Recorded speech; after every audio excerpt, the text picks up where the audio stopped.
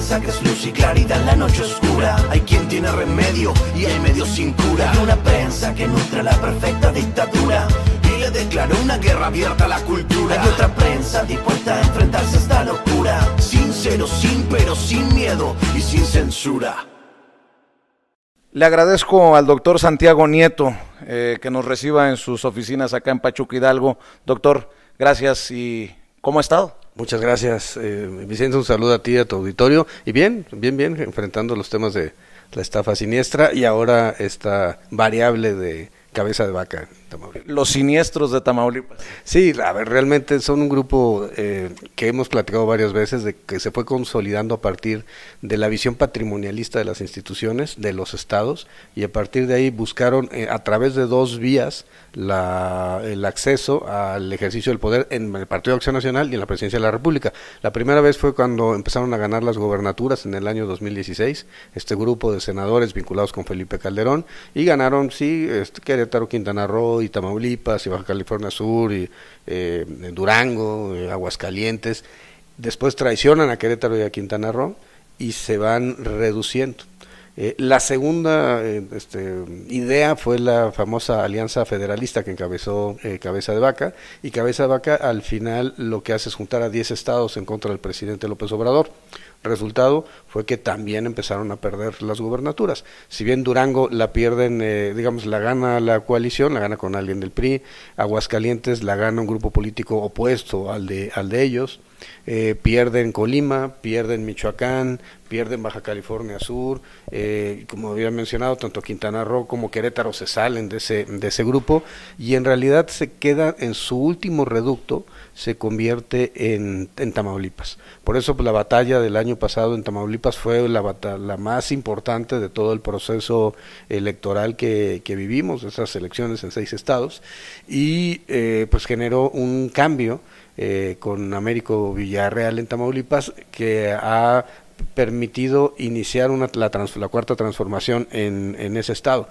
Sin embargo, Cabeza Vaca mantiene el control de los jueces locales, mantiene el control de algunos jueces federales, mantiene el control de la Fiscalía General de Justicia del Estado y la Fiscalía este, Anticorrupción, y es lo que ha mantenido que en este momento eh, se le haya concedido un amparo para efectos de que la orden de aprehensión o la segunda orden de aprehensión que había en su contra por la compra-venta de un departamento y el lavado de dinero eh, ya no pueda surtir sus efectos. Pero fue una batalla muy importante, llegamos a tener hasta una ficha roja eh, en contra de Cabeza Vaca, que desafortunadamente no fue cumplimentada en su momento por parte de Interpol, y pues el resultado es este regreso de Cabeza Vaca con una tercera, tercera intentona por buscar la presidencia del PAN y por buscar eh, la, candidatura en el 24 a la presidencia de la República. En ese marco está eh, pues, los ataques que, hemos recibido, Américo Villarreal, el juez de distrito, eh, los ministerios públicos que judicializaron la carpeta y un servidor.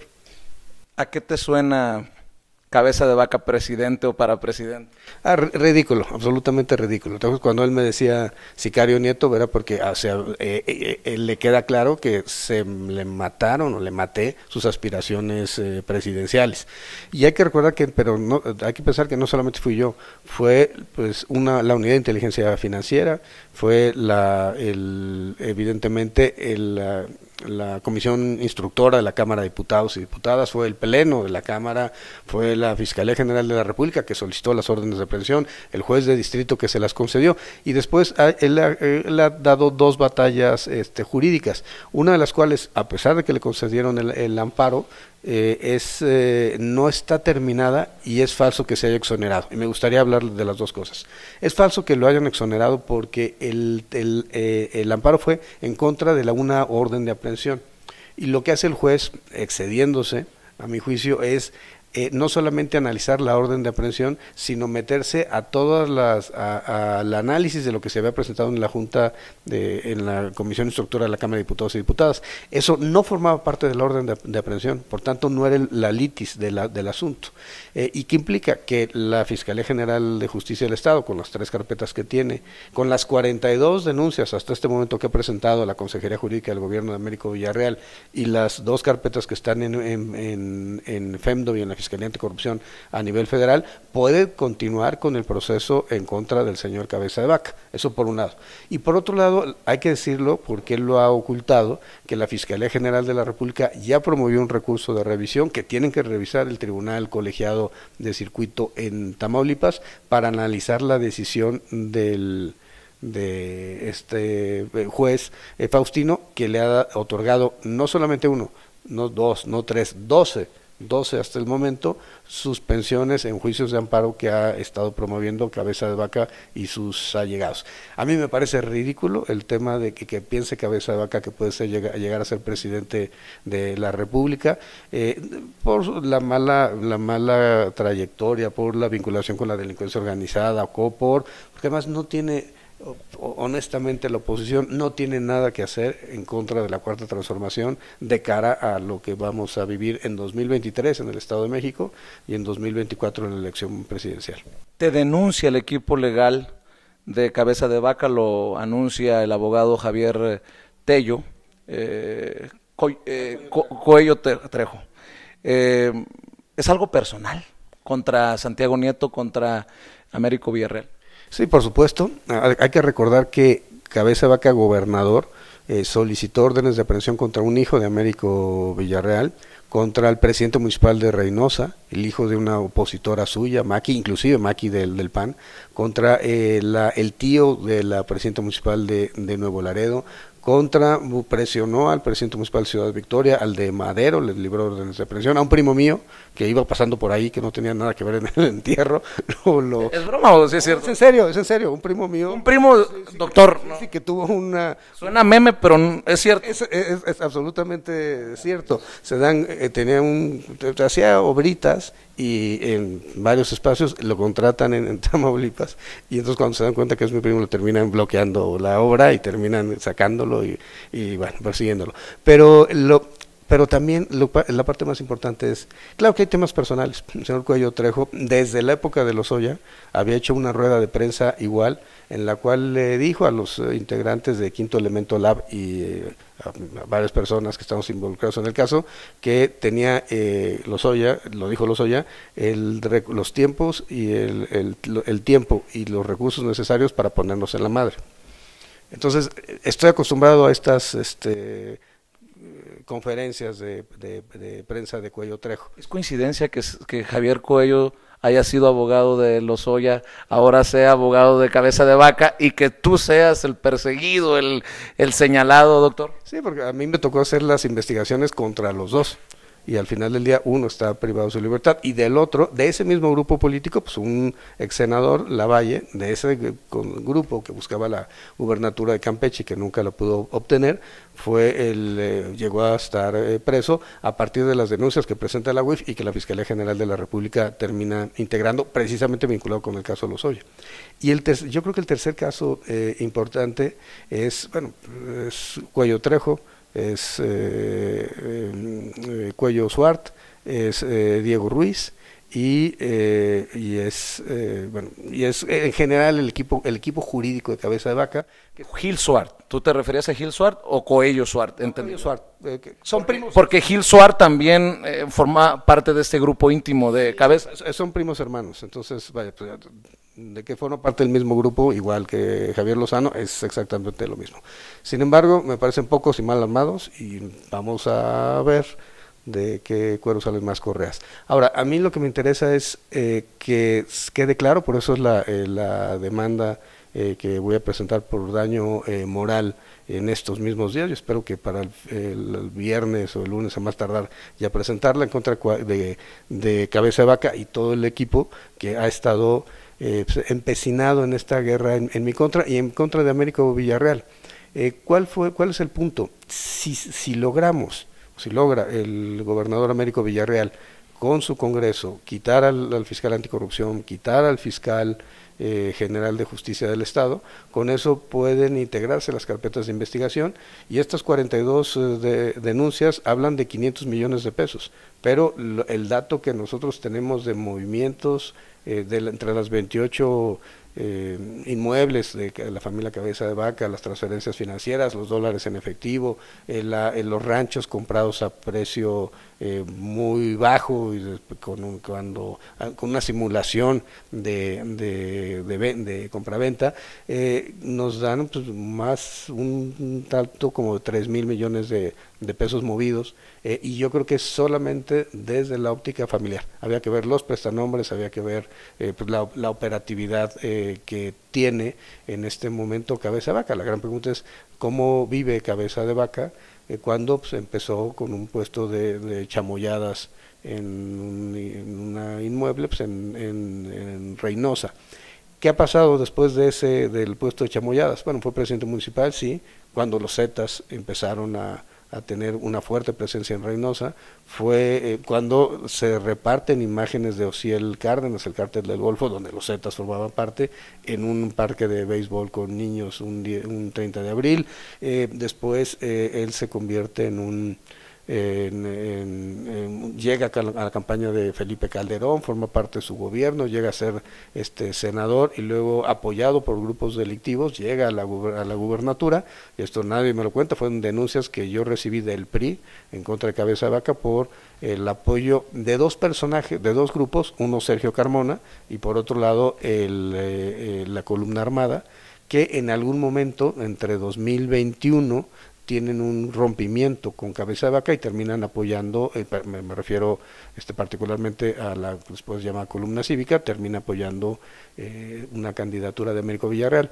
Eh, sin embargo, no es lo mismo la operación de la columna armada, no es la misma la forma en cómo se operaba en 2016 y por supuesto nadie puede soslayar ni minimizar que el financiamiento de las campañas de cabeza de vaca sí venía o llegó de Puebla, llegó de, Rafael Moreno Valle, pero también tenía que ver con estos vínculos con la delincuencia organizada. Moreno Valle generó este modelo en el cual los gobernadores terminaban eh, separando recursos, distrayendo recursos del, del, PAN, evidentemente, para financiar las campañas de los, de los panistas.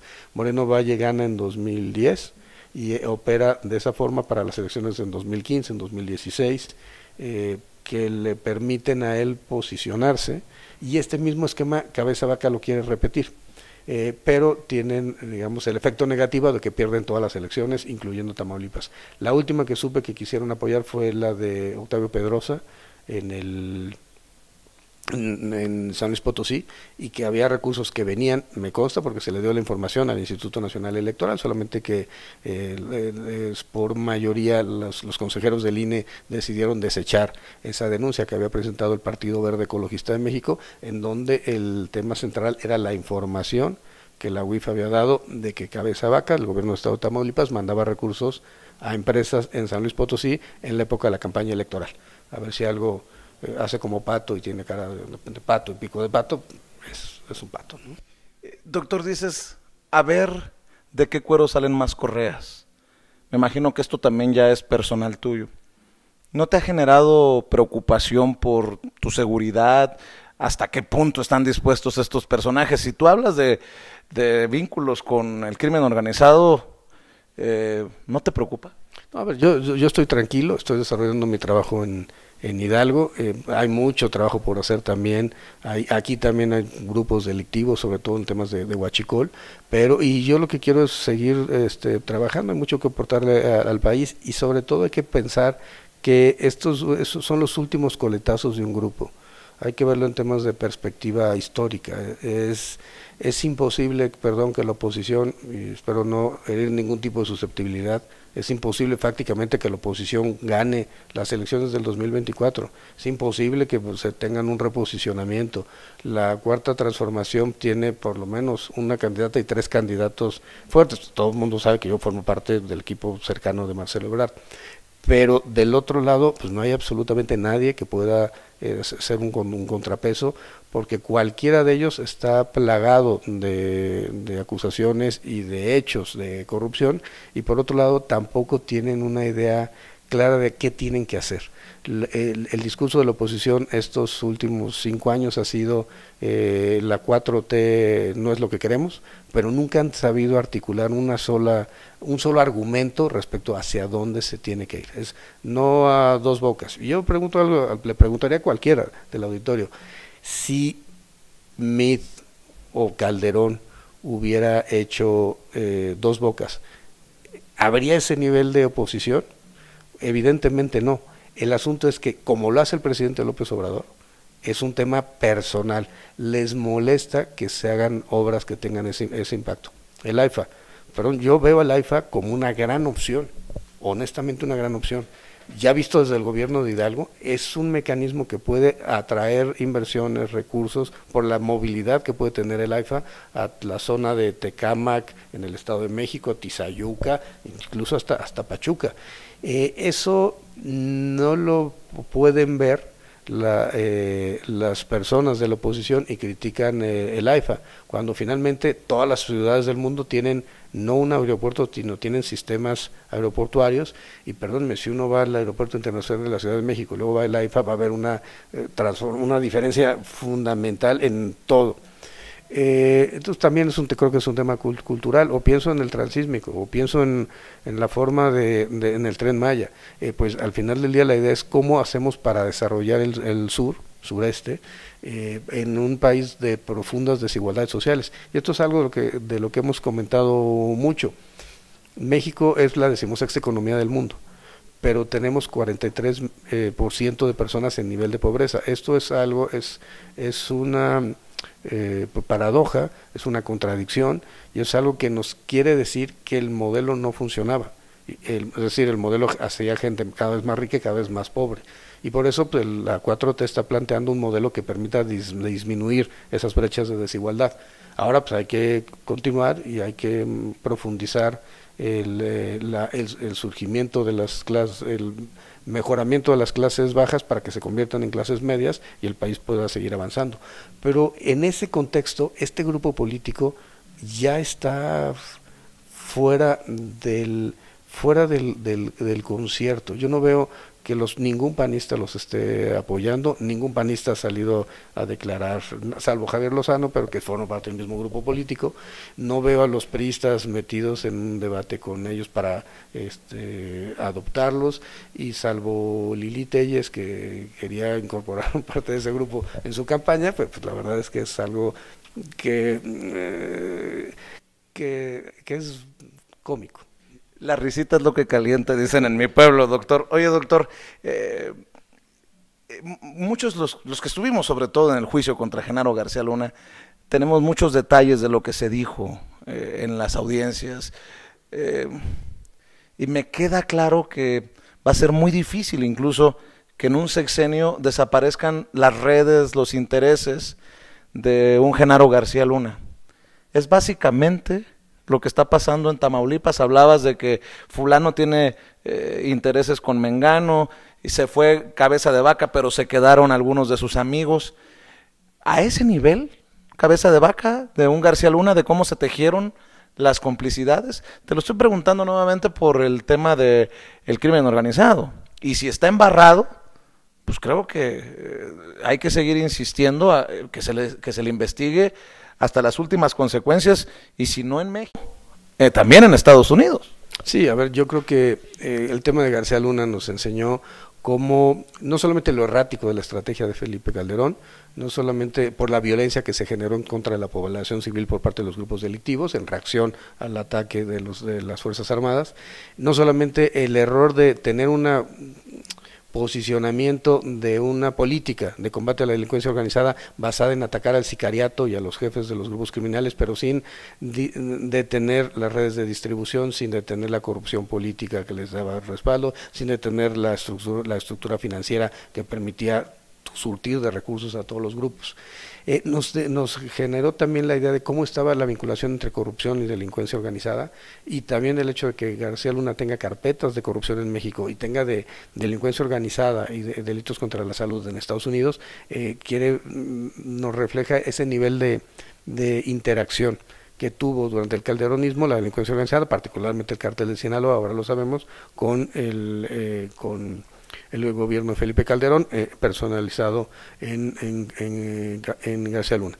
Cabeza Vaca es un modelo en menor escala porque finalmente García Luna era nacional y Cabeza de Vaca operaba en Tamaulipas. Sin embargo, hubo cientos de denuncias en contra de, Cabeza de Vaca por eh, presión para que se pusieran predios a nombre de prestanombres de Cabeza de Vaca, por homicidio de, de personas eh, que en algún momento estuvieron protestando y bueno, por supuesto por la complicidad que había entre sus grupos de operaciones especiales y los grupos de, de, las extensiones o transformaciones de lo que fue en su momento el cártel del Golfo. Y creo que eh, en ese sentido Estados Unidos también, eh, yo lo que nos llegó de información, tenía que ver con investigaciones que se estaban desarrollando del otro lado de la frontera lo que ha dicho Cabeza Vaca es que son falsas porque una firma no coincide, pero en realidad fue una firma, la que tienen ellos de un oficio firmado por ausencia, y la que tenemos nosotros es el oficio del funcionario público. Entonces, bueno, lo que tiene el Estado mexicano, lo que tiene la Fiscalía General de la República. Entonces, yo creo que eh, ellos deben, están elevando la apuesta pero hay que tener dos cosas claras. Uno, la Fiscalía ya impugnó, la Fiscalía General de la República, y dos, eh, el hecho de que la Fiscalía General de la República o la Fiscalía de Tamaulipas puede en cualquier momento judicializar las carpetas en contra de estos personajes y eh, por enriquecimiento ilícito, por peculado eh, y por delincuencia organizada, porque son más de tres personas están son, operando de manera financiera, patrimonial y económica, y bueno, que esto todavía falta mucho camino por, andar. Es creo que la forma de posicionarse políticamente de cara al 24, a partir de estas ruedas de prensa, pero sin tener claridad respecto de el hartazgo que tiene la sociedad mexicana con ellos y el mal nombre que le dejan incluso a la propia política como actividad dos cosas porque sé que tienes compromisos eh, y hay que salir corriendo. Doctor, eh, en algún momento tú me dijiste, eh, en Sin Censura, cabeza de vaca va a terminar tras las rejas. Con este poder judicial. Y te lo pregunto a pesar de, y con mucha responsabilidad, a pesar de que se puedan raspar muebles, con este poder judicial, que le descongela las cuentas a la esposa de García Luna, que le descongela las cuentas a Cárdenas Palomino, que deja eh, salir a Rosario Robles y hoy no tenemos a responsables de la estafa maestra tras las rejas, con este poder judicial que pareciera también eh, cuidar a Lozoya. ¿Se puede confiar? ¿Hoy puedes decirme lo mismo? después de todo lo que ha pasado, creo que de esto, de esta declaración tuya han pasado por lo menos un par de años. ¿Cómo lo ves? yo estoy convencido que sí, aunque que, sí va a terminar tras Va a terminar tras las rejas, evidentemente, ya sea por el ámbito federal o como por el ámbito local. Yo veo la impugnación de la Fiscalía General de la República me parece una gran señal, es decir, que no se hayan quedado con el amparo que se le concedió por además los excesos que ya comenté sobre ese amparo. Claro, la Poder Judicial necesita una transformación interna. Este juez Faustino con 12, 12 eh, amparos hacia este grupo político es, es, un exceso. En los descongelamientos de cuentas, sobre todo los casos paradigmáticos, es donde tenemos el descongelamiento de las cuentas, me parece también eh, aberrante. Y sobre todo la idea de que, de que el Consejo de la Judicatura, en este momento integrado por cuatro personas internas del Poder Judicial de la Federación y dos externos, eh, que por tanto los internos tienen mayoría, han tenido una política de no, de, de no revisar eh, los errores judiciales haciéndolos pasar como si fueran un criterio del órgano jurisdiccional. No, cuando hay excesos, cuando hay insuficiencias, cuando hay violación directa a las normas o a las jurisprudencias, evidentemente no se trata de un tema de criterio y tendría que haber una sanción por parte del Consejo de la Judicatura Federal. Creo que lo que se requiere es tener mayoritariamente miembros externos del, al Poder Judicial que integren ese Consejo de la Judicatura y que evitemos este tipo de cosas. Eh, es increíble que eh, por ejemplo, tengamos el descongelamiento de Cárdenas Palomino, que tengamos eh, la eh, prisión domiciliaria para la, para la Valle y que pues, en realidad los casos estén, se estén eh, cayendo. y por otro lado, por, por, esta posición de los jueces de no darse cuenta de que el proteger a un exgobernador narcotraficante tiene un impacto en la, en la sociedad. Eh, exgobernador narcotraficante. Vinculado con tema, con grupos de, delincuencia organizada, es decir, que ha tenido apoyo. Pero, a ver, pero también lo podría decir de Roberto Sandoval. Y también está este preso porque su fiscal Viaitia fue uno de los principales operadores del cártel eh, Jalisco Nueva Generación, primero del cártel Sinaloa, después del cártel Jalisco. Entonces, este... te, te lo pregunto porque esta declaración de Santiago Neto es titular, ¿no? Exgobernador narcotraficante. Exgobernador vinculado, pues, lo, tendría que matizar, pero vinculado con qué? Con temas de huachicol, con temas de, de energía eólica a partir de temas de corrupción, con vinculado con eh, enriquecimiento ilícito, vinculado con, sí, con grupos, a, ver, que estuvo soportado o, apoyado por grupos que se, que se encontraban en espacios de delincuencia, pues eso sin duda. Pero el, a lo que a lo que iba es, lo que creo que tenemos que estar trazando es cuál es el futuro de la justicia en el país. Eh, y la justicia en el país pasa por evitar que eh, entender cuál es el bien jurídico superior, cuál es el principio constitucional más importante. Yo creo que la transparencia, la rendición de cuentas, el combate a la corrupción deben ser prioritarios. Eh, y yo creo que en, hacer públicos todos los temas vinculados con estos grupos es, relevante. recientemente, perdón por sacar un tema personal, pero me acordé ahorita que hablamos del Poder Judicial. Eh, mi esposa presenta un, juicio electoral ante la sala superior y resulta que le cae al empleado de este grupo que termina eh, planteando que sus argumentos son infundados y termina diciendo que si, textual, que si quería ser presidenta, que se hubiera esperado tres años y que no hubiera concursado para ser consejera electoral cuando concursó. Eso me parece que, uno, no es un argumento jurídico, dos, es una falacia, y tres, da cuenta de que este Reyes pues no deja de ser un empleado de ese grupo político que sacamos de Tamaulipas en, en junio del año pasado. Déjame ser más claro. Reyes Rodríguez Mondragón sigue funcionando en relación a este grupo de poder del, del calderonismo, de, de, los saco, perdón, iba a decir saco de, bueno, ya lo dije, de Javier Lozano y de Gil Suart, más aún, el que hayan bajado a Carla Humphrey, tu esposa, también tiene que ver por con esta campaña personal contra Santiago Nieto? Bueno, tiene que ver con una campaña personal ahí contra Carla Humphrey que además no es la primera vez que ese grupo la veta, la vetaron en 2014 dos veces, en 2016 una, en 2017 otra, se intentaron meter en 2020 pero ya no les dio, y en este momento eh, Francisco Acuña, el, eh, un excomisionado del INAI de ese mismo grupo político, fue el que operó con dos integrantes, eh, con varios integrantes, nos dijeron que había hablado con varios integrantes del comité, técnico para decir que eh, implicaría una reelección y que por tanto no se podría quedar. Nos lo dijeron integrantes del propio comité que este personaje se había metido vinculado a ese grupo. Casualmente viene la impugnación contra esa decisión del comité técnico, llega ante, ante la sala superior y es el empleado de ellos, Reyes, el que termina eh, pues, declarando infundado y cerrando. No, no se trata, en este tema en particular, yo creo que no tiene que ver con Santiago Nieto, no tiene que ver conmigo, sino tiene que ver con una dinámica que han tenido en contra de, Carla Humphrey. Para cerrar, doctor, por cierto, te tengo que invitar a los estudios de Sin Censura. Ya abrimos los estudios en la Ciudad de México. Ojalá que te des el tiempo.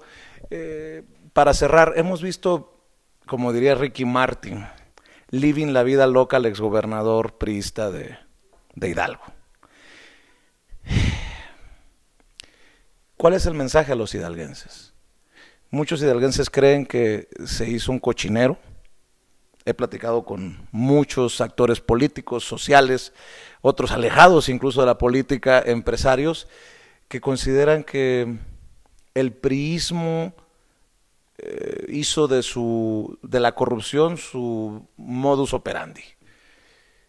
Ah, he hablado contigo de la estafa perversa. ¿Cómo va esto? Eh, tú eres el encargado de la Procuración de Justicia hoy en día en, en, en Hidalgo. Sabemos del compromiso de Julio Menchaca. Cómo va la cosa. Sí, a ver, Julio Menchaca ha dado la instrucción muy clara de cero tolerancia a la corrupción, cero tolerancia a la impunidad y cero tolerancia a, todo. Nos hemos metido al tema del huachicol, a pesar de ser competencia federal, porque está vinculado con homicidio, que es competencia local, con narcomenudeo, con eh, temas como extorsión, inclusive como secuestro. Y la posición de Julio Menchaca ha sido radical. En, en ese sentido es un transformador. Métanse a todos los asuntos. Por otro lado, eh, en el tema de la estafa siniestra, la primera parte fue los presidentes municipales, estos primeros eh, seis presidentes municipales vinculados a proceso, aunque tenemos otros dos vinculados por, otras, por otros hechos. Pero de esos seis vinculados a proceso, tuvimos ya información de las empresas eh, fachada utilizadas y, estamos, y de ciertos eh, personajes de nivel estatal vamos en, en, ese vamos en ese segundo nivel. En un, ya pasamos del primer nivel, el municipal, al nivel de las empresas, por un lado, para ver follow the money, dónde se, dónde, a dónde se fueron los recursos, y porque muchas de esas empresas terminaron sacándolos en efectivo de sus cuentas, y por otro lado a los eh, secretarios de Estado. De ahí la idea es seguir al tercer nivel y, este es el este es el proceso. Yo siempre he comentado exgobernadores entonces hasta donde hasta donde tope. Yo es lo que han plantado Julio Menchaca hasta donde tope. Eh, si hay información se tiene que ir contra exgobernadores. Si no hay información tampoco eh, se persigue a, nadie.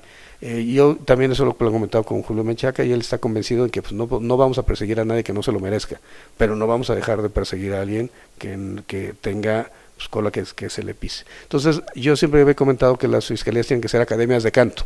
Entonces, vamos a ir presionando a los distintos grupos para que vayan diciendo, eh, vayan presentando los elementos hacia arriba y nos permitan encontrar pues, a, los, a los autores intelectuales de los, de los hechos delictivos.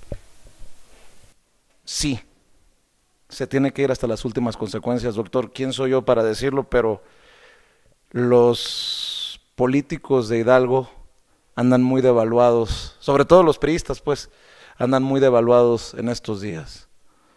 Eh, Murillo Caram, ya sabemos la situación, Penchina señalado, Miguel Ángel Osorio Chong, hasta mencionado por Pablo Gómez, hoy titular de la Unidad de Inteligencia Financiera, te decía del exgobernador, ¿cómo se llama, por cierto? Omar Fallado. Ah, sí, Omar.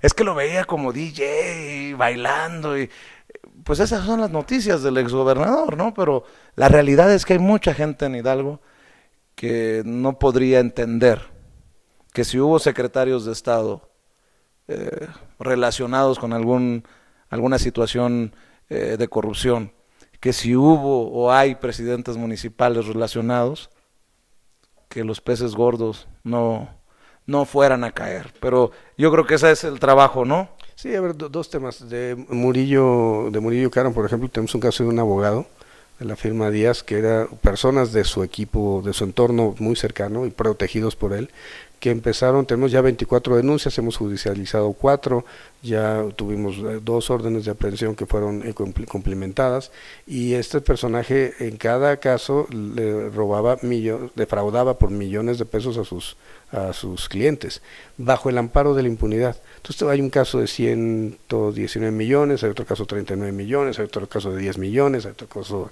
de 4 millones y al final dices, ¿cómo es posible? que eh, hayan generado estas prácticas en donde eh, simulaban juicios, donde falsificaban sentencias, le daban al, al cliente su sentencia que nunca había existido, eh, más que en ese papel que le habían impreso en, los propios en el propio despacho, y esto todo al amparo pues, del poder, en este caso particular de Murillo Cara.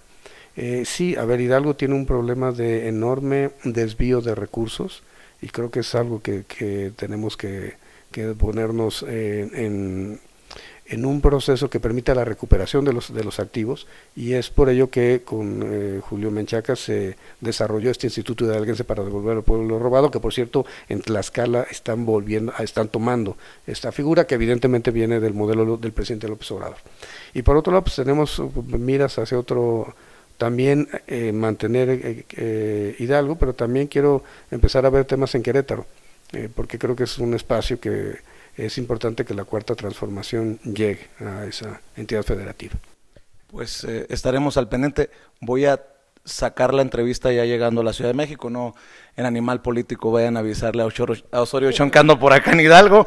Eh, dicen unos que si es Claudia, que si es Adán, que si es eh, Noroña, que si es Ricardo, si es Ebrard, eh, ya está preparado para ser fiscal general de la República.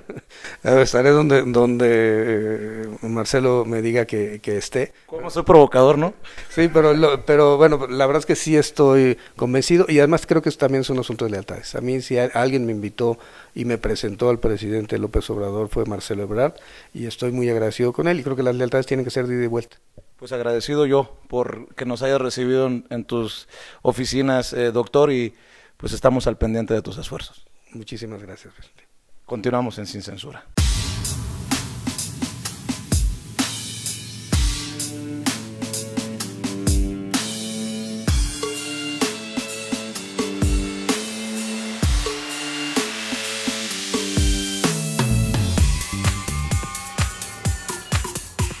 Nos da mucho gusto estar en las oficinas del gobernador constitucional del estado de Hidalgo, don Julio Menchaca.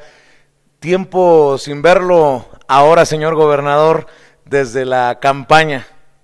Me da mucho gusto, Vicente. Tú sabes el afecto y el aprecio que, nos tenemos y recibirte hoy en Palacio de Gobierno es un privilegio, es un lujo. Muchas gracias. En su toma de posesión no tuvimos la oportunidad de decirle felicidades, pero me imagino que no ha, no ha tenido tiempo ni siquiera de, parar a reflexionar eh, lo, que ha, lo que han significado estos meses.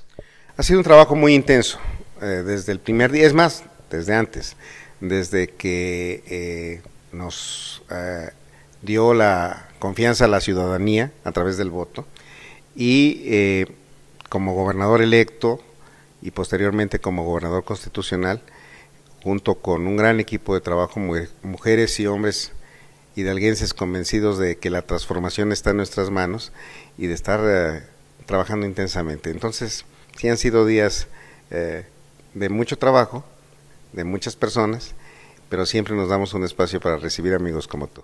Muchas gracias, gobernador, por sus generosas palabras eh, y de muchos retos. ¿Cuáles son los principales retos que ha encontrado Julio Menchaca gobernando Hidalgo?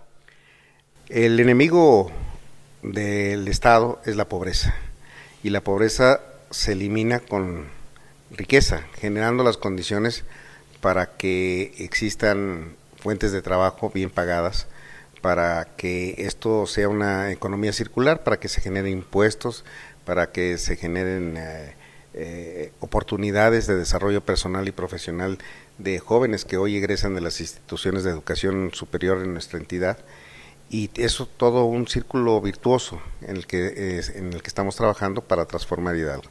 Son muchos los reclamos de los hidalguenses durante mucho tiempo, muchos años. Por eso hubo una victoria contundente en las elecciones, por la, la expectativa que hoy debemos de atender de la ciudadanía, en todos los sectores, en los sectores productivos, en el sector social, en la educación, en la salud, y eh, en eso estamos uh, 24/7, eh, con, esa, con esas ganas de transformar Hidalgo, de tener el Hidalgo que queremos, el Hidalgo que nos merecemos las y los hidalguenses. ¿Esas expectativas pesan en la espalda? ¿Cómo las maneja, eh, gobernador? Es un estímulo constante, no, no es una carga, es un, es un privilegio. pero, es, pesado, ¿no? Decir, la gente espera eh, lo que no tuvieron en cuántas décadas del PRI. Pero para eso hicimos un compromiso. No es un, es un peso, sí tiene mucha intensidad, son muchos los temas, en cuestiones de seguridad, de educación, de salud, de bienestar, de desarrollo social, de desarrollo económico, de todo, la, de cultura, del deporte, de todos los aspectos que implica una administración estatal. Pero lo hacemos con mucho gusto. Eh, si disfrutas el trabajo, según yo, este es mi punto muy personal de vista, hay tres maneras de ir circulando por la vida. Eh, o la disfrutas, o la sufres, o nadas de muertito. ¿no? la persona que todos los días eh, se levanta y dice, bueno, voy a tener que soportar esto a mis compañeros de trabajo, bueno, pues es su forma de, de visualizar. y habemos quienes agradecemos este tener un día más de vida y nos entusiasma mucho el poder desarrollar una agenda, el poder estar atendiendo los problemas. Y habrá quien simplemente pasa, eh, se despierta y deja transcurrir el tiempo, pero hay, que disfrutarlo, es, es muy poco el tiempo para hacer cosas y nosotros, eh, y tu servidor y el equipo de colaboradores, insisto, de mujeres y hombres comprometidos, pues tenemos el eh, hoy la oportunidad de servir y hay que aprovecharla para trascender. Antes de entrar a la lucha contra la corrupción, eh, a su cruzada contra la impunidad, déjeme preguntarle, porque me imagino que esto también es algo muy personal para Julio Menchaca. ¿Cuántos años visualizando eh, ser gobernador y, por fin ver eh, cristalizado ese sueño? A nivel personal, eh, cuando se va a la casa o a descansar, ¿cómo digiere esto? ¿Cuántos años, eh, Julio, eh, luchando, gobernador, por, por esta oportunidad de, estar, de tomar los, el, toro por, por los cuernos? La vida ha sido muy generosa conmigo. He tenido la oportunidad de estar en distintas responsabilidades en distintos sectores. He estado en el he trabajado para el Ejecutivo Estatal, para el Poder Judicial, he sido legislador en la Cámara de Diputados local, en el Senado de la República y hoy es un privilegio que aspiramos todos, todas las personas que estamos en la, en la política a, poder eh, tener en nuestras manos, en nuestra responsabilidad, dirigir a una entidad. Pero, ¿usted recuerda algún día o alguna temporada en la, en la que dijo, yo voy a ser gobernador, ¿no? Y, quiero transformar, ya que estamos en la 4T, en, temas de transformación, yo quiero transformar Hidalgo.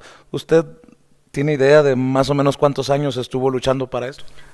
Desde que ingresa uno a la actividad política, eh, eh, la intención es trascender. Es, eh, ¿Cuántos años, Julio, más o menos? ¿Cuántas décadas, gobernador? Cuatro, cuarenta años. Y no se necesita cargo. Eh, yo he estado muchos años en el sector público, pero también he estado desde la trinchera de mi despacho como abogado eh, en la lucha por tener una mejor sociedad, porque finalmente es un lugar, el lugar donde aquí he, vivido siempre, aquí nací en Hidalgo, no he vivido en otra parte, he trabajado en otras partes por cuestiones en el Senado de la República, pero de ir y venir, este, para los que somos provincianos, es muy difícil desarrollarnos. Y mi pretensión, Vicente, es que al término de esta administración, a diferencia de otros gobernadores, o de casi todos, yo siga viviendo en, en Hidalgo, que pueda yo estar circulando como lo he hecho toda la vida. Toda mi vida. Válgame, válgame Dios, qué trancazo para... ¿Puedo dar nombres? Para los Osorio Chong, los eh, los que se cansan rápido. Entendió el que entendió, gobernador. Ya sabe que soy un provocador profesional, pero hablando de provocadores profesionales, el presidente de la República, que es un ajedrecista político, y, y usted desde aquella entrevista en campaña me hablaba de una lucha de la mano del gobierno federal contra la corrupción y contra la impunidad. Y las veces que he tenido la oportunidad de entrevistar a Santiago Nieto, hoy encargado de el despacho de la Procuración de Justicia en este estado, insiste en eso. ¿Qué tan personal es cambiar el, el rumbo de Hidalgo, gobernado siempre por el PRI, con este modus operandi de la corrupción, de los compadrazgos, de los amiguismos? ¿Qué tan personal es eh, que pase a la historia eh, este gobierno como el de la transformación, el del cambio? Pues es que es el compromiso que asumimos en campaña, el que las cosas serían distintas, el que pudiéramos, eh, se pudiera manejar el recurso público con transparencia y para lo que está. Y mira, eh, a veces un ejemplo habla más que muchos discursos. había situaciones, hoy por ejemplo, con una medida de seguridad que es el emplacamiento, cambiar las placas de los vehículos, se obtiene un recurso, sí, es cierto. Primero es una cuestión de seguridad, pero antes no se sabía que se utiliza un recurso que es superior a los 500 millones de pesos. Y nosotros eh, eh, hicimos el compromiso de que el 100% de esos recursos fueran para obras en los 84 municipios. Esto quiere decir que van a saber las personas exactamente cuánto dinero y en qué se gastó, en qué municipio, en qué comunidad, de personas que eh, han aportado a través de su, de su solicitud eh, en la construcción del Plan Estatal de Desarrollo. A diferencia de planes que se encuadernan y que se entregan y que están en los libreros, nosotros desde campaña eh, escuchamos, platicamos con la gente a través de los de foros, de diálogos para la transformación y ya después también fue un proceso de planeación en donde se compiló lo más sentido. O sea, ¿para qué inventamos desde este escritorio de que a una comunidad se le va a dar determinada obra si lo que está reclamando es agua potable, son servicios públicos, son caminos, los caminos desafortunadamente para la entidad están destrozados y están destrozados en los lugares más alejados. ¿Y de qué sirve de que haya una escuela o que haya un centro de salud si no puede salir una ambulancia con, con un herido en un hospital? Entonces eh, estamos eh, enfocando también una enorme cantidad o gran cantidad de los recursos públicos de la obra para la comunicación y para lo indispensable, trabajando de la mano con los ayuntamientos de, la entidad. Y aquí debo de reconocer que en estos poquito más de seis meses, casi siete meses de administración, hemos tenido el respaldo de los municipios y del Congreso del Estado. Ha habido una buena comunicación independientemente de las plataformas políticas. Este, una de ellas, una, una decisión muy importante, fue el empate de las elecciones porque lo que pasó durante mucho tiempo en nuestra entidad, en estos últimos seis años, cuatro o cinco elecciones, y no la pasamos en elecciones, con la utilización de recursos o, desinterés o eh, enfocado más a la próxima elección que a las próximas generaciones. Y, ya hoy, eh, con la, gracias al, al Congreso del Estado, a los ayuntamientos, vamos a empatar las elecciones, la próxima gobernatura va a ser de dos años, como pasó en Puebla, en Baja California, en Veracruz, para que eh, se empaten con las elecciones federales y nos dediquemos mucho más tiempo, o todo el tiempo los que estamos en una responsabilidad, a estar atendiendo a los reclamos de la sociedad.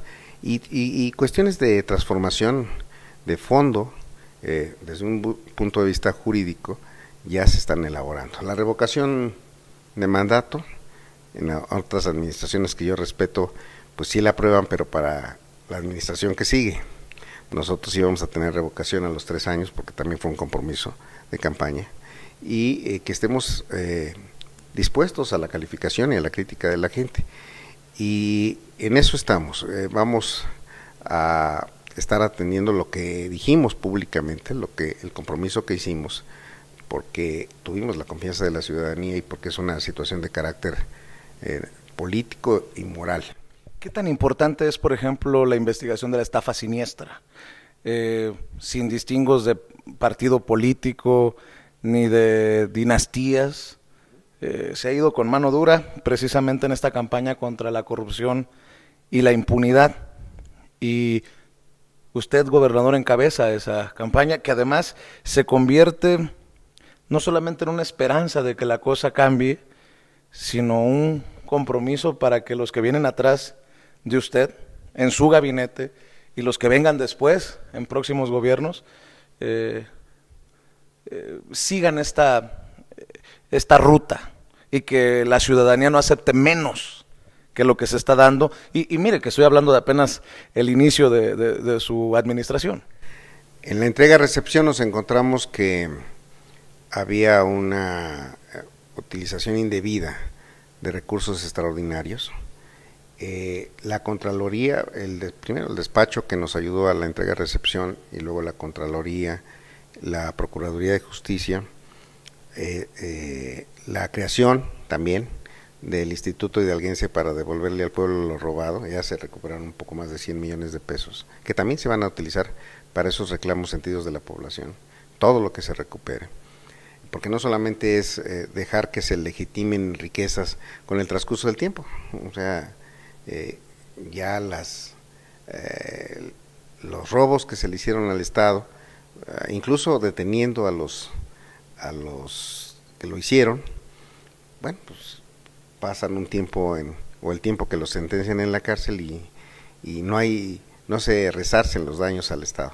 Entonces nosotros estamos ah, empeñados en que se modifique ese chip de corrupción, de que de parte del gobierno y también de parte de la ciudadanía estemos eh, entrando a un esquema de transparencia, de rendición de cuentas, y de la utilización eh, debida de los, de los recursos públicos.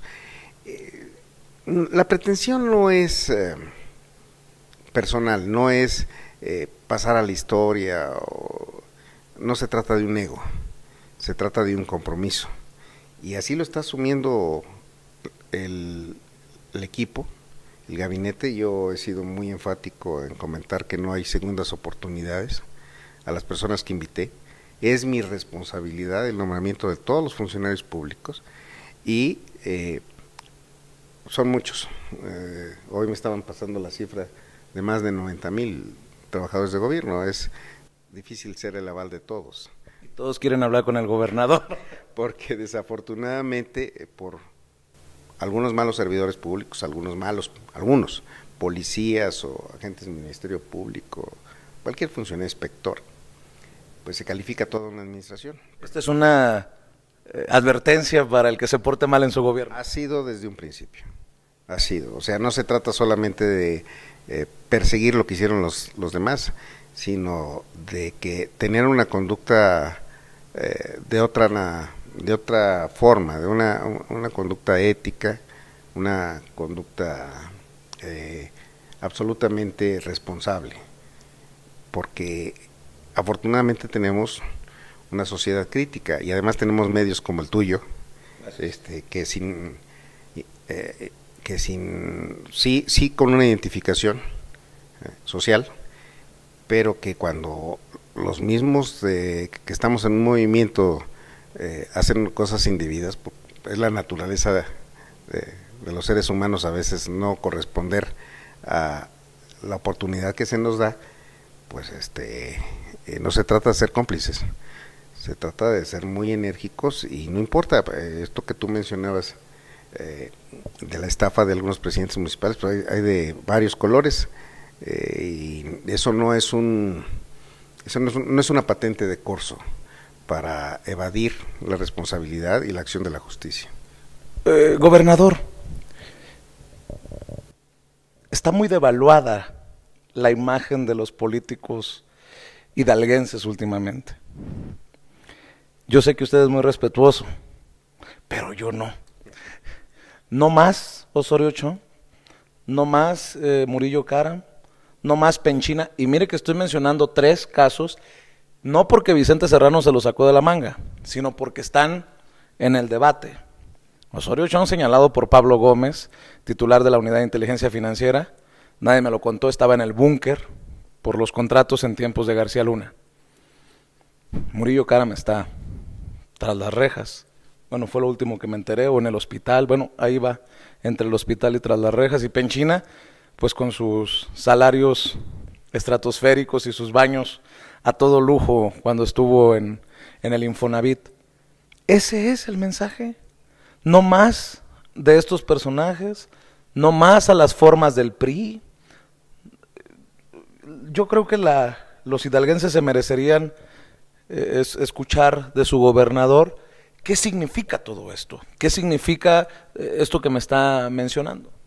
Cada quien es responsable de lo que hace en la vida y, yo no tengo tampoco el carácter de juzgador.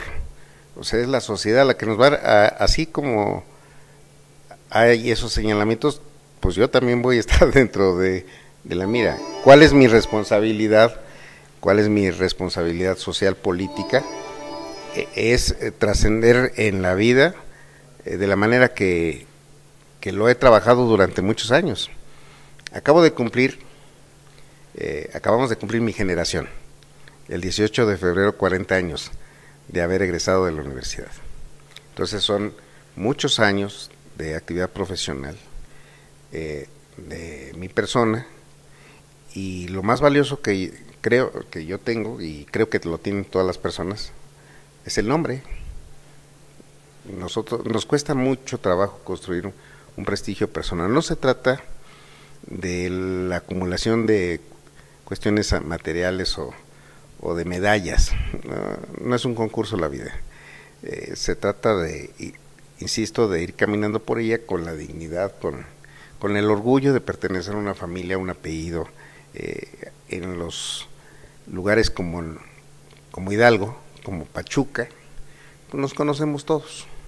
Sabemos de, de dónde venimos, cuál es nuestra eh, trayectoria profesional, cuáles son nuestros, eh, cómo, hemos, cómo nos hemos desenvuelto en, la vida. No nos inventamos de un día para otro, no a, partir de un cargo público. Ahora, ya, ahora que soy gobernador, soy tal, tal, tal, tal, ¿no? Eso se va construyendo. Y te insisto por la referencia a la pregunta, cada quien es responsable de eso que construye que se llama fama pública y, bueno, pues... Eh, y que paguen los que tengan que pagar. Este, a lo mejor en algunos casos eh, no es tan así como en, eh, en algunos funcionarios que las circunstancias los ha puesto, ¿no? y en otros a lo mejor te faltan más nombres. Oiga, gobernador. Pero, este, insisto, cada quien, lo que yo, lo, que yo puedo garantizar es un combate directo a la corrupción, a la impunidad, transparencia, ejercicio correcto de los recursos públicos, como persona, como ser humano, y no es estar haciendo, eh, no estarme curando en salud. Pues sí, tomamos decisiones que no a todo el mundo les gusta. Yo procuro escuchar a, mi equipo de trabajo y tomar las mejores decisiones para la entidad. Esa es, es uh, una situación que me, ha permitido ir circulando por distintas responsabilidades y creo que positivamente, te insisto, no, no es vituperio, pero cuando he tenido una responsabilidad como senador, como presidente del tribunal, como diputado, como funcionario público, eh, he procurado reunirme de las personas, de personas más inteligentes que yo, y de escucharlos y de aprovechar su experiencia. Y aquí somos un gran equipo en, el gobierno del Estado y mucho talento, mucho talento, y, aprovecharlo. No, quiero quitarle mucho tiempo porque sé que tiene que eh, ocuparse de su agenda que es está tupida, como decimos allá en Sonora, pero un hombre que no puede faltar en la conversación es Andrés Manuel López Obrador el presidente de México eh, seguramente eh, ha platicado con usted. De hecho, usted seguirá siendo gobernador cuando el presidente, hoy presidente, deje el puesto. ¿Cómo ve el futuro? Hoy el factor Andrés Manuel López Obrador es imponente, es, es avasallador ¿Cómo ve el futuro eh, Julio Menchaca con lo que ha dicho el presidente, que en el 2024 él se va a, su rancho? Bueno, yo he tenido la oportunidad de platicar con el presidente en, varias ocasiones, desde antes de, que fuera presidente, eh, y luego como senador de la República y ahora como gobernador, con temas eh, inherentes a la entidad y temas de carácter nacional. Estoy convencido de su proyecto político. Él me invitó a participar en esto. Eh, y em, estoy convencido de, la causa, estoy convencido de, esta, de este movimiento, de sus alcances, eh, también de sus áreas de fortaleza, sus áreas de oportunidad. Y fue un factor determinante en el 2018 para que muchos eh, ganáramos eh, una elección. Eh, primero el efecto de él como líder de este país el enojo y el fastidio de la gente, el romper el status quo y un poco el trabajo que hicimos los candidatos. Sigue prevaleciendo, sí, el efecto de, él. Es impresionante. Eh, aquí lo vemos en las visitas que tiene la entidad y lo hemos acompañado a, muchas, muchas giras. Eh, la identificación popular que tiene el presidente. Eh, es, es un presidente con un gran respaldo social y ya van, y son ha, habido años muy complicados con la pandemia y con el, propio desgaste que causa el gobierno. Eh, va a seguir siendo un factor, esto no quiere decir que, como lo quieren interpretar algunas personas, que se quieran reelegir o, quiere seguir influyendo en la vida pública. Él no los ha comentado, tuvimos una reunión los gobernadores con él, él eh, le preocupa el país, pero ha afirmado que a partir de que termine su administración, él se va a retirar de la vida pública, eh, incluso nos mencionó que eh, no quiere tomar eh, vuelos comerciales después para no interferir, quiere tener una vida discreta en, en, su, en su retiro, pero no cabe duda que en la historia de este país va a haber un antes y un después de Andrés Manuel López Obrador. Eh, de los dos, dos, temas para cerrar, eh, gobernador, el AIFA, tan golpeado por la oposición y no, y si lo entienden por perversidad no lo quieren aceptar, pero yo sé que usted eh, tiene una idea importante sobre el aeropuerto Felipe Ángeles que estaría en camino en ser motor también para, para Hidalgo. nosotros obviamente para llegar a Pachuca pasamos por esa zona, y yo pensaba cuando venía por acá, eh, nadie sabe lo que tiene, muchas veces o no lo aprecia. Eh, y ojalá que esa visión de la oposición no permee en mucha gente de a pie, en Hidalgo, en el Estado de México, en la capital. Eh, ¿Qué opinión tiene de este aeropuerto? Entiendo que la competencia es, perdón porque yo soy muy, muy majadero y usted es muy propio, gobernador. Entiendo que la competencia con la refinería que dejó Felipe Calderón es eh, importante. Pues obviamente la barda es una, una, grosería de lo que dejó Felipe Calderón. Y la gente todavía, se, la gente de oposición se, opone los, se pone los moños con el AIFA. ¿Qué opinión le merece y, y cómo visualiza el AIFA en este gobierno que inicia con usted a la cabeza? Qué bueno que tocas el tema porque se refiere también a tu pregunta anterior.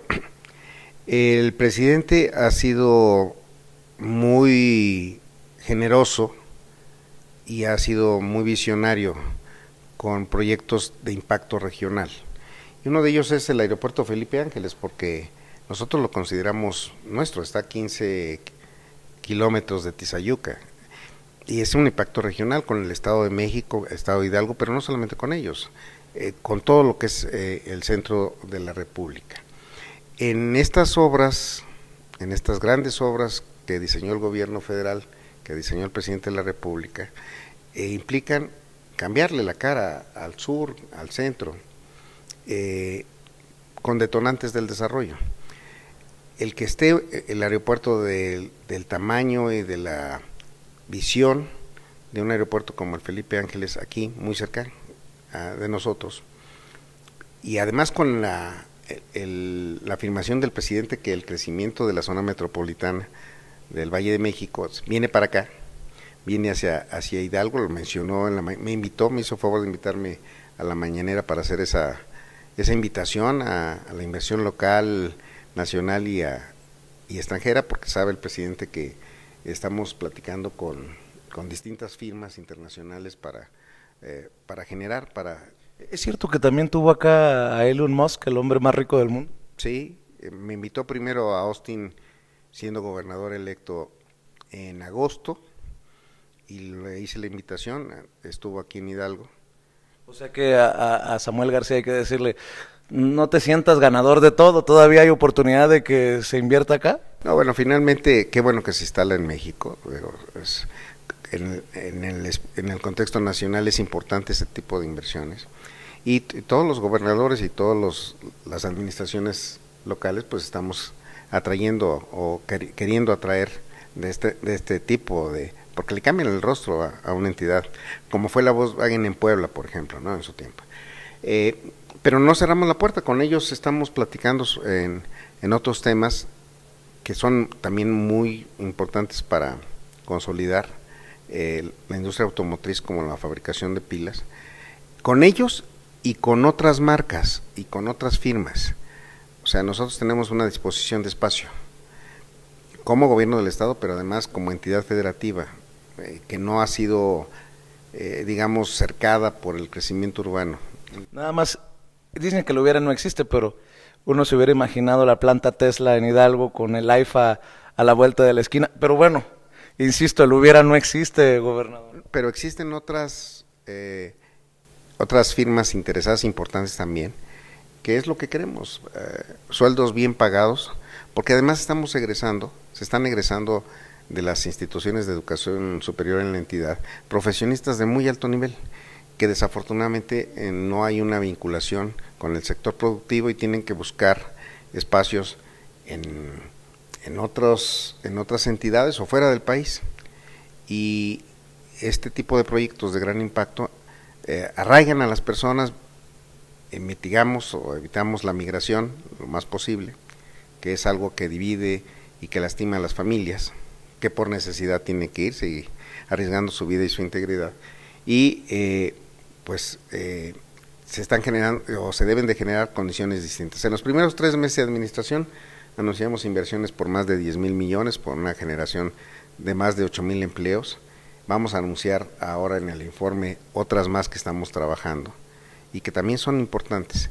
Y eh, un ancla como, como de, esas, de esa naturaleza, pues esperamos que se dé, pero vienen otras muchas más, porque no olvidamos que las pymes pues manejan más del 90% de la actividad económica en este país, pero la proveeduría, la experiencia, tuvimos un, eh, una experiencia eh, muy exitosa que desafortunadamente se desvaneció en el transcurso del tiempo con Ciudad Sagún. Una, se creó una ciudad industrial eh, hace varias décadas, donde estaba Renault, estaba Dina, eh, estaba, este, todavía hoy se está revitalizando, ahí se están construyendo eh, los trenes para el tren Maya, la maquinaria para el tren Maya, y también se este, le está dando impulso. Tenemos varias áreas con no solamente con el espacio físico, sino con la experiencia y la mano de obra calificada para poder. Estuve recientemente en Dina, ya sacaron sus modelos 24, está instalada aquí en, Hidalgo, del grupo G, y eh, pues así, eh, apoyar, sí queremos eh, atraer un, una inversión de, alto nivel, pero no descuidamos a las grandes, a las medianas y a las pequeñas industrias, porque todas son un componente de economía. Para cerrar y con la última, y nos vamos, gobernador, agradecerle siempre su generosidad, eh, agradecerle siempre el espacio, invitarlo para que nos acompañe en nuestros estudios allá en la Ciudad de México cuando se dé una vueltecita. Eh, tocó un tema que, como diría mi nana que en paz descanse, me pegó en la pata de palo, el tema de la migración. Por veintitantos años he sido migrante y creo que nunca se deja de ser migrante. Cuando el presidente dice primero los pobres, me imagino que en estados como Hidalgo también suena a primero los migrantes, porque precisamente el que se va no es por gusto, sino por necesidad. ¿Cuáles son sus planes y si acaso el mensaje que pueda tener eco tanto en las familias que reciben remesas como en aquellos hidalguenses que siguen poniendo el nombre de nuestro país, de sus comunidades, de Hidalgo, de sus familias en alto? con su trabajo honesto en Estados Unidos, sobre todo, gobernador? Bueno, sin duda es un tema doloroso para muchas familias, porque, insisto, eh, rompe una, un modo de vida, la necesidad obligado, en la gran mayoría de los casos, a, tomar la decisión, la triste decisión de mujeres y hombres, de salir de, de sus comunidades, de sus um, municipios, y, a, a, través de su trabajo, de su esfuerzo, constituir un patrimonio y estar, en la mayoría de los casos también, proveyendo a sus familias, porque también hay quien se olvida y, bueno, pasan cosas. Pero debemos de reconocerle a, las y los migrantes de Estados Unidos la aportación económica que hacen, pero yo soy un convencido de que eso debe de ir disminuyendo, de que la expectativa no sea estar eh, viviendo en otro lado. Ojalá que algún día vengan a vivir el sueño mexicano, ¿no? Sí, sí, sí. Este, y bueno, tú, para entrarle a la pregunta, eh, se está generando dentro del Plan Estatal de Desarrollo una, un camino de negocios para los que ya construyeron su patrimonio y que les pueda o puedan venir a, utilizar eh, eh, ese, ese desarrollo y no solamente en una casa bonita, estilo californiano, en, en las comunidades, como es muy común en muchas partes, ¿no? sino que eh, la experiencia que han adquirido, porque además tenemos hidalguenses muy exitosos, muy exitosas, que han logrado con, en condiciones muy difíciles tener un capital. Y tenemos quienes en el sector agropecuario particularmente en de hotelería, servicios, eh, que, que, tienen una fuerza económica y que quisieran venir, pero, y me lo han platicado, ¿para qué voy si aquí tengo primero mi fuente de trabajo, aunque mi abuelita viva allá en el Valle Esquital o en cualquiera de las zonas muy hermosas de nuestro estado, sí, este, pues si yo aquí tengo pues asegurado un ingreso.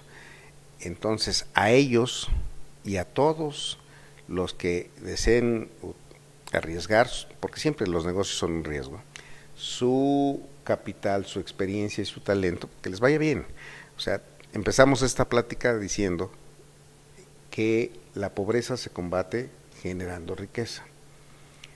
De parte del Estado es eliminar las trabas burocráticas, con el cumplimiento de la normatividad, de las cuestiones ecológicas, pero que no sea un martirio para los que quieren invertir, propios y este no extraños, sino propios y, externos, eh, y que les vaya bien, yéndole bien al sector productivo, teniendo buenos sueldos, respetando las leyes del trabajo, eh, pues es se, va modificando la sociedad.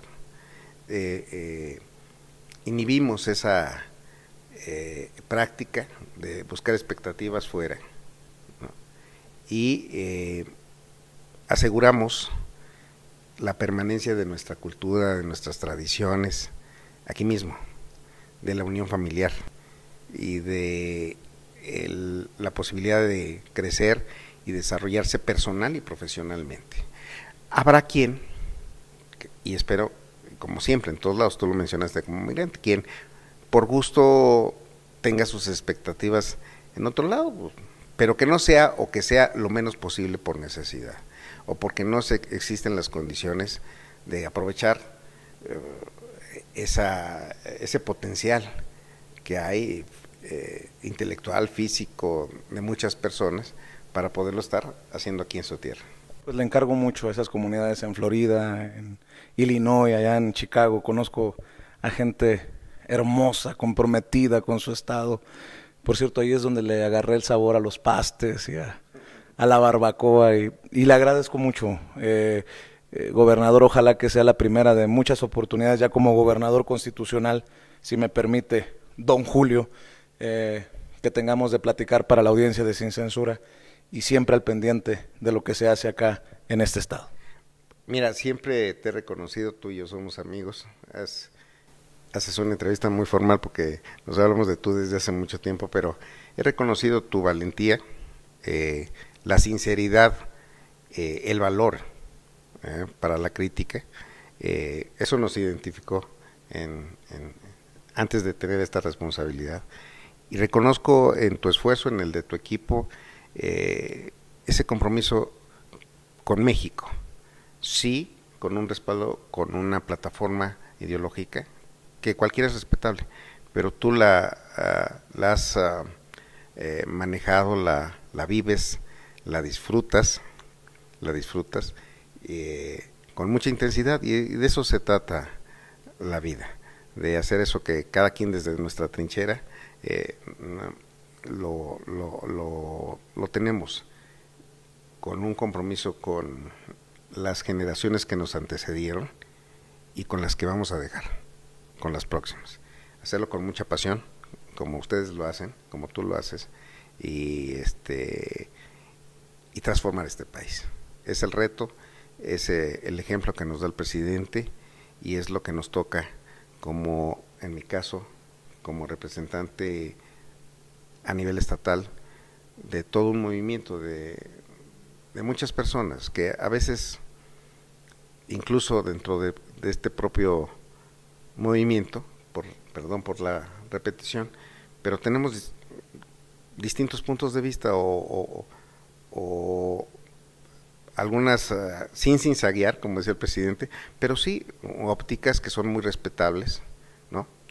Y que en la manera en que nos vayamos a nivel estatal identificando de una mejor manera y con las mejores causas, eh, vamos a lograr el Hidalgo que, que queremos, el Hidalgo que nos merecemos. Pues cerremos con un agradezco tus palabras, gobernador, y espero que la próxima hablemos de corcholatas. Gracias. El gobernador Julio Menchaca, gobernador constitucional de Hidalgo, hablando con nosotros sin censura.